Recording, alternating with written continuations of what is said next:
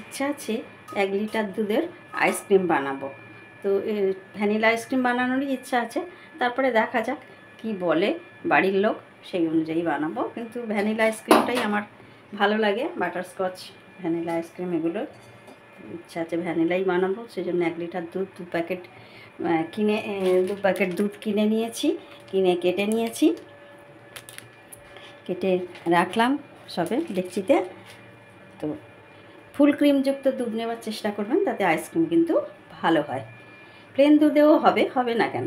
তার সাথে একটু বেশি গুঁড়ো দুধ মিশিয়ে নেবেন, দু চামচ অন্তত, তাহলেও ভালো হবে। প্লেন দুধেও হয় ফ্যাট ছাড়া দুধে, আর ফ্যাটযুক্ত দুধে হলে ভালো হয়। তো থেকে আমি যেটা করব, খানিকটা দুধ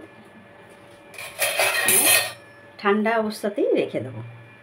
কারণ কিছু ইনগ্রিডিয়েন্টস আছে শুকনো, যেগুলো আমার এই ঠান্ডা দুধেই গুলতে হবে। তারপর দুধটাকে ফুটতে দেবো। বেশ খানিকটা দুধ নিয়ে নিচ্ছি, পাঁচ ছ হাতা নিয়ে এতে গুলে নিয়ে ঠান্ডায় তারপরে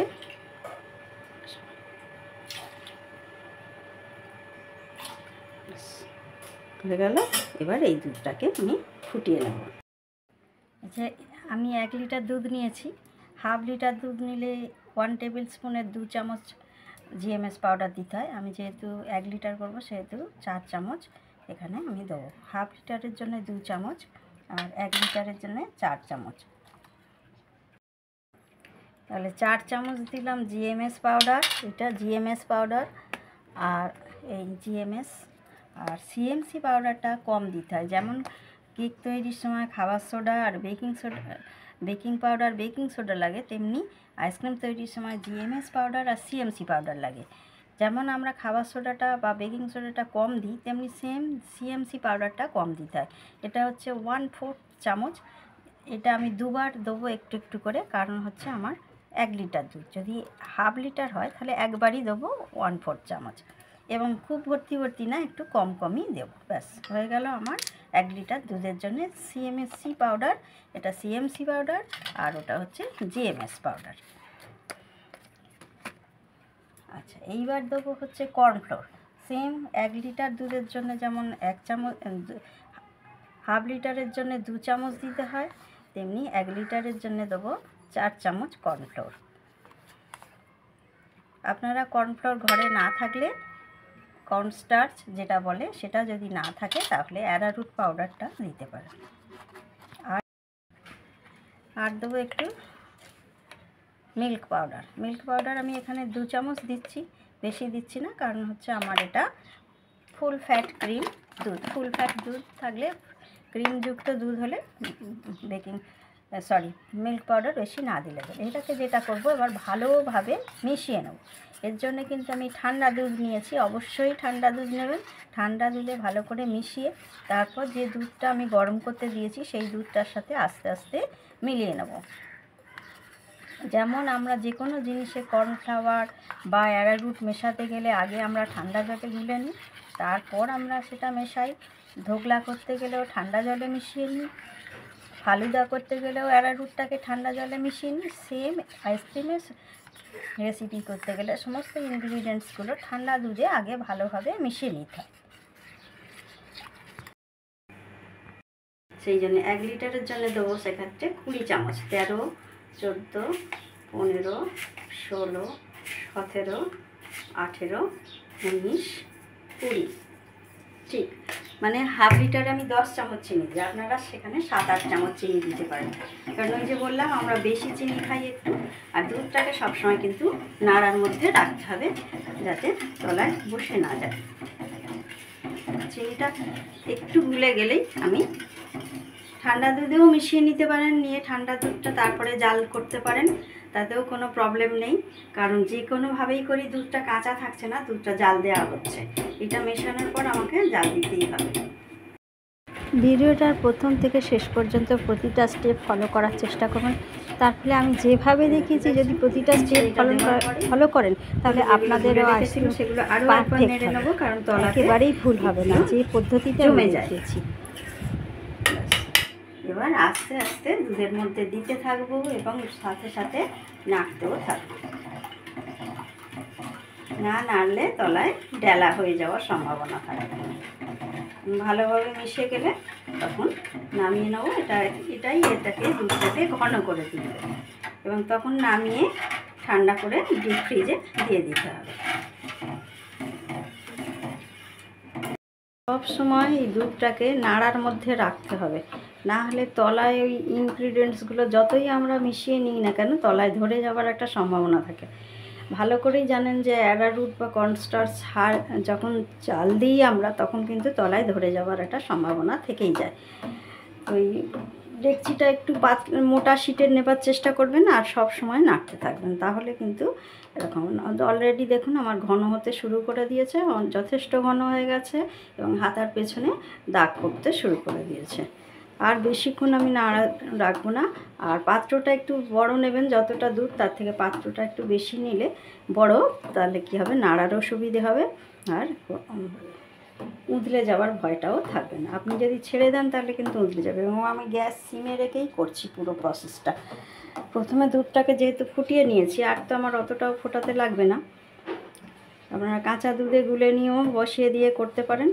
কিন্তু আমি কি করি, দুধটাকে পুরো জাল দিয়ে নিই আর একটু দুধ ঠান্ডা রাখি, যে দুধটায় GMS powder CMC powder cornstarch বা অ্যারারুট যেটা খুশি দিতে পারেন, আর একটু মিল্ক পাউডার এই চারটে ইনগ্রিডিয়েন্টস একসাথে মিশিয়ে নিয়ে আইসক্রিমের বেসটাকে আমরা তৈরি করে নিই।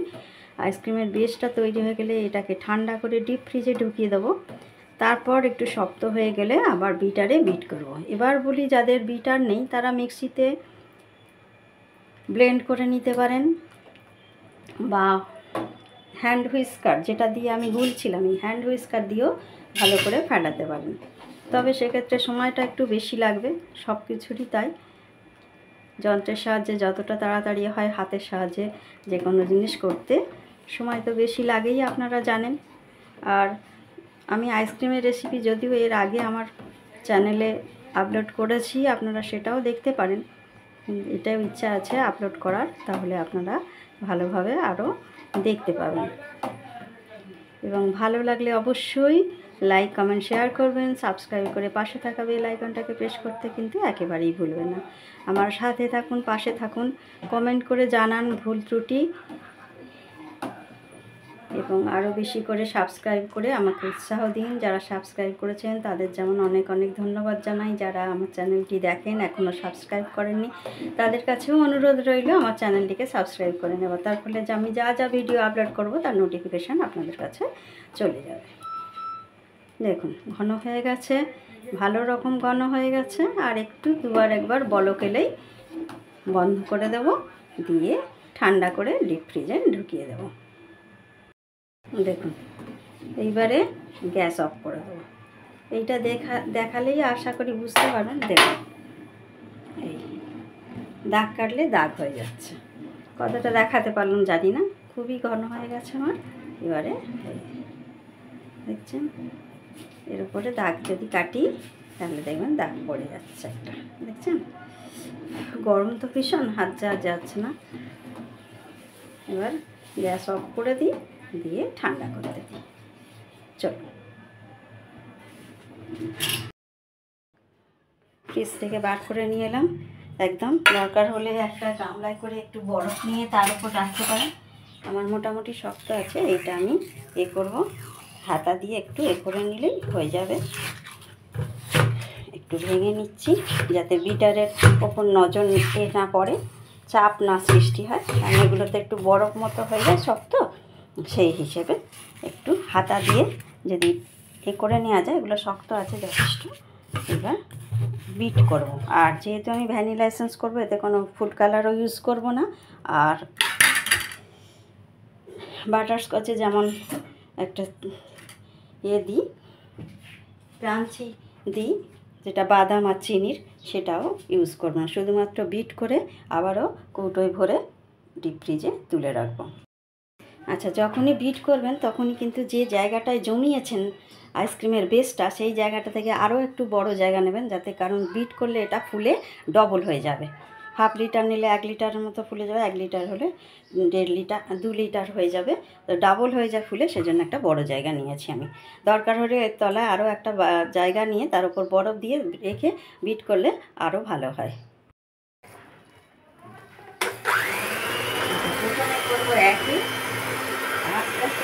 তিন হয়ে যাবে। তারপরে এক থেকে দুয়ে যাবে এবং সবার শেষে তিনে যাবে। এবং তিনে যাবে যখন তখনই জানি না আর যাদের যেটা নেই, তারা হ্যান্ড সময় নিয়ে করবেন ওভারনাইট রাখলে ভালো হয়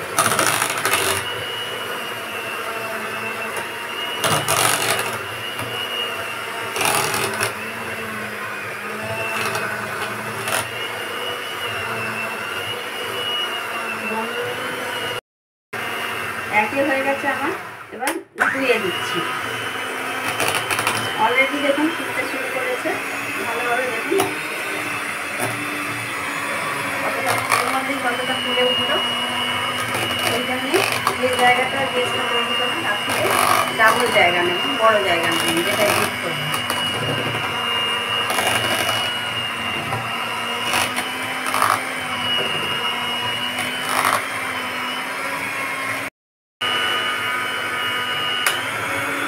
এবার তিনে করে দিলেন আস্তে আস্তে স্পিড বাড়াতে হয় এবং আস্তে আস্তে স্পিড কমাতে হয় একেবারেই ধুয়ে বা দিয়ে দেবেন না প্রথমে একে তারপরে দিয়ে তারপরে যাবে তিন এটা এখনও ফুলবে সেই জন্য এখনও ভ্যানিলা এসেন্সটা আমি দিইনি। আরও একটু ফুলুক তারপরে আমি ভ্যানিলা এসেন্সটা দেবো। সাথে সাথে দেখতে থাকুন। ফুলে আমার অলরেডি ডবল হয়ে গেছে। নামি দামি কোম্পানির থেকে কম ভালো আইসক্রিম এটা নয় কারণ আমরা ঘরে টাটকা এবং নিজে পরিষ্কার পরিচ্ছন্নভাবে হাতে তৈরি করছি। যদিও নামি দামি কোম্পানি অনেক সময় অনেক কিছু রেস্ট্রিকশন থাকে, তারা পরিষ্কার পরিচ্ছন্ন হয়। দেখুন হাফ লিটার হলে এক চামচ দেবেন আর এক লিটার হলে দু চামচ ভ্যানিলা এসেন্স দেবেন। এটা আমার ঢাকাটা ছোট, তাই জন্য আরও একটু দেবো আমি। আপনারা চামচ মেপে দিলে দু চামচ দেবেন ভ্যানিলা এসেন্স আমি এখানে ছিপিতে করে দিচ্ছি, চামচটা নিইনি, সেই জন্য আমি তিন ছিপি দিলাম। যেহেতু এটা ভ্যানিলা এসেন্স, আর যদি বাটার স্কচ হতো তাহলে এক চামচ দিলেই যথেষ্ট ছিল, দু চামচ দেওয়ার দরকার নেই। এবার এইটাকে নিয়ে আবার ভালো করে তিনে বিট করে নেব, নিয়ে তারপরে কৌটোয় ভরে নেব। দেখুন তিনে বিট করছি, ভ্যানিলা এসেন্সটাও মিশে যাচ্ছে এর সাথে। এবং এই সময় যখন প্রথম আপনারা এক বা দুয়ে করছেন, যদি একবার খেয়ে দেখে নেবেন যে মিষ্টিটা ঠিক আছে কিনা যদি মনে করেন যে মিষ্টি কম আছে, তাহলে প্রথম বিট করার পরেই আপনারা চিনিটা আর একটু চিনি দরকার হলে মিশিয়ে নেবেন। কিন্তু আমি যে চিনি দিয়েছি আমার একদম পারফেক্ট সেক্ষেত্রে আমার আর কোনো চিনি লাগবে না, এখন আমি তিনে বিট করছি। ব্যাস, এটাই লাস্ট বিট আমার দেখুন। পুরো দেখছি, ভরে যাচ্ছে। ওই জন্য বলছি যে ডেকচিতেই করবেন, যেটাই বেস তৈরি করবেন, তার ডবল একটা জায়গা নেবেন, পাত্র নেবেন। কারণ আমি ছোটো ডেকচিতে বেসটা তৈরি করেছিলাম, এখন আমি বড় ডেকচি নিয়েছি, বড় পাত্র নিয়েছি। পুরো দেখুন ডেকচি পড়ে গেল। আর আমার দুধ করার কোনো প্রয়োজন নেই। আরও একটা জিনিস আপনাদের দেখে দিই। বন্ধ করলুম, দেখুন, এই তুললে এই দেখুন পড়ছে। এই যে কোয়ান্টিটিটা এই থাপাস থাপাস করে থেকে থেকে পড়ছে, এটাই কিন্তু আইসক্রিমের সঠিক কোয়ান্টিটি দেখতে পেলেন তো আবার তুলছি দেখুন, এই এই দেখুন কীরকম পড়ছে। থেকে থেকে যেমন সিন্নি বা আটা মাখাটায় একটু জল বেশি পড়ে গেলে যেমন পড়ে, ঠিক সেই সেম কোয়ালিটি এরকম। এবার এটাই। বিটার লাগানোটা পরে দেখিয়ে দেবো। তাহলে আমার হয়ে গেল, এবারে বিটার বন্ধ করে দিয়েছি, এবার বক্সে ভরে নেব। তলে আইসক্রিম পড়ে যাচ্ছে। আচ্ছা বিটারটা অন্য একটা ডেক্সির মধ্যে রাখলাম। দেখুন, এখানে আরেকটা সুইচ আছে। এইটা যেমন সুইচ ওয়ান টু থ্রি বাড়ানো, কমানোর, আর এইটা হচ্ছে বিটার লাগা, খোলার সময়। এইটাকে চাপ দিলাম, দিয়ে এই দেখুন, আমার এগুলো স্ট্যান্ডগুলো খুলে গেল। বিটারের রডগুলো খুলে গেল এইভাবে। আর এইখানে দেখুন, এই যে গর্ত আছে, এইটা শুধু জাস্ট এরকমভাবে নিয়ে গর্ত অনুযায়ী লাগিয়ে দেয়, এই করে। এরকম করে চেপে দিলেই লেগে যাবে এই হচ্ছে বিটারির কাজ। চলো আইসক্রিম ঢেলে দেখুন, আমার কতগুলো হয়েছে? এক লিটার দুধে আমার কটা ভরে রেখেছি জায়গায়, একটা, দুটো, তিনটে, চারটে জায়গায় ভরে রেখেছি। একটু কম আছে, কিন্তু ইচ্ছা করি ভাগ ভাগ করে রেখেছি যাতে একটা করে বার করে আমরা খেতে পারি এবং কাউকে দেবার হলেও সেটা আমরা ছোট জায়গা করে দিতে পারি। আইসক্রিম সেটেও আপনারা রাখতে পারেন, যেরকম আইসক্রিমের সেট পাওয়া যায়, সেটাতেও রাখতে পারেন কাঠি দিয়ে, সেটাও কোনো প্রবলেম নয়। কিন্তু এটাগুলো বার আইসক্রিম যেমন তৈরি হয়, সেইভাবেই কিন্তু তৈরি হলো। এবং খেতে ভীষণ সুন্দর, কোনো কোম্পানির থেকে কিছুতে কম নয়। এইভাবে খুব সহজ পদ্ধতিতে দেখানোর চেষ্টা করেছি। আপনারাও করে খান বাড়িতে। এইবার যেটা করব, এই দুধেরই প্যাকেট আপনাদের কাছে ফয়েল পেপার থাকলে ফয়েল পেপার দিতে পারেন। আমি কিন্তু দুধের প্যাকেটই কেটে নিয়েছি, নিয়ে এইগুলো চাপা দেব, দিয়ে ঢাকনা দিয়ে দেবো। কারণ হচ্ছে যাতে না বরফ জমে যায়। ডিপ ফ্রিজে জানেন বরফ জমে এবং আমরা যদি এই প্লাস্টিকটা উপরে চাপা না দিই, তাহলে এই আইসক্রিমের ওপরে বরফের একটা লেয়ার পড়বে।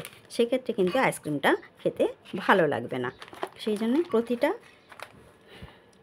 এর ওপর আমি এই দুধের প্যাকেটগুলো রেখে দিয়েছি। এটা যেহেতু ছোট, এটাতে একটা প্লাস্টিক পেপার দিয়ে দিল এবং গার্ডার আটকে দেবো এটার আর এগুলো ঢাকা আছে, তাই এগুলো সবকটাই দুধের প্যাকেট দিয়ে চাপা দিয়ে ডিপ ফ্রিজে ঢুকিয়ে রেখে আসব। প্রত্যেকটা আমার কভারিং করা হয়ে গেছে। এবার আমি ডিপ ফ্রিজে রেখে আসছি। তবে আমি বেশিরভাগ ক্ষেত্রে নর্মাল দুধের প্যাকেটটাই ব্যবহার করি। কারণ গোল্ডেরটা গোল্ডের দুধের আইসক্রিমটা বানাই ঠিকই।